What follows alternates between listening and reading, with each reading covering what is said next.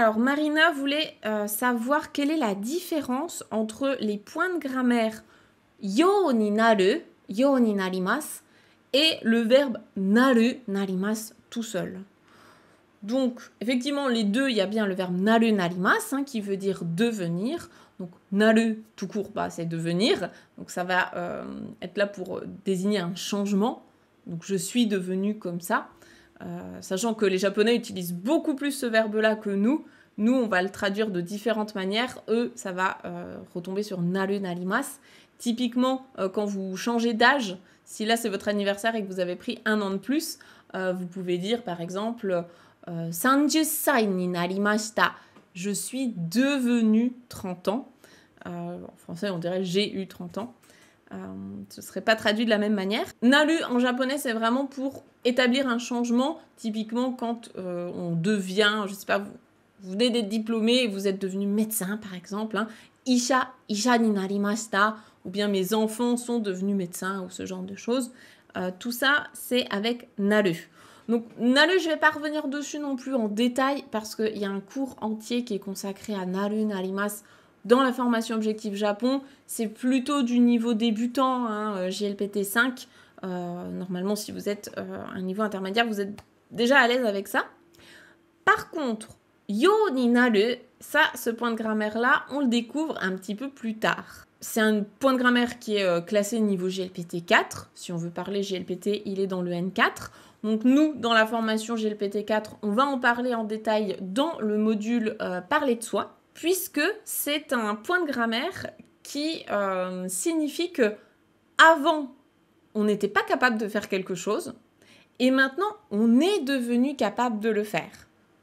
C'est un changement aussi, mais vraiment une comparaison comme ça. Avant, j'y arrivais pas et maintenant, j'y arrive.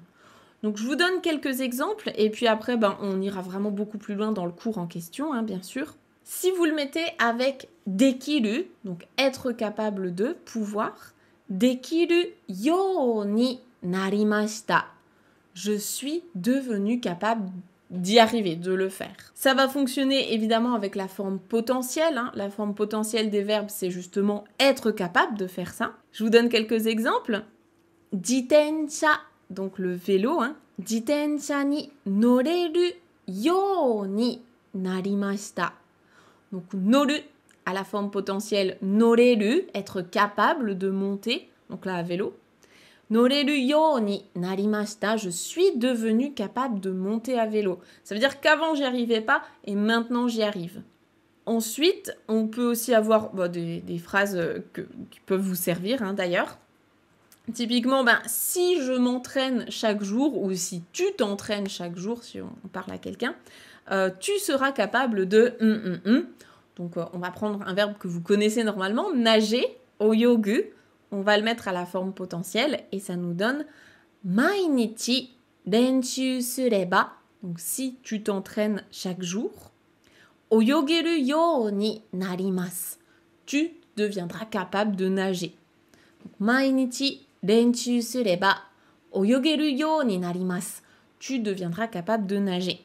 Avant, tu n'étais pas capable, maintenant tu l'es. En tout cas, tu le seras dans le futur. Je vous donne encore un dernier exemple. Euh, quand on s'adresse à un enfant et quand on lui dit euh, ben, quand tu seras grand, tu comprendras. Donc là, à l'heure actuelle, tu es trop petit pour comprendre, mais plus tard, tu comprendras. On peut lui dire donc Okikunatara que tu seras grand, tu deviendras capable de comprendre. Je vous rappelle hein, que wakaru, wakarimas, le verbe comprendre, il n'a pas de forme potentielle, puisqu'il exprime déjà la capacité de comprendre quelque chose. Donc, wakaru yo naru yo, tu comprendras quand tu seras grand. Voilà ce que je pouvais dire là-dessus. Après, on détaillera tout ça. Donc pour euh, Yo on aura plein d'exercices, plein de phrases exemples comme d'habitude dans la formation GLPT 4. Et puis pour le verbe naru narimas, là c'est plutôt dans Objectif Japon.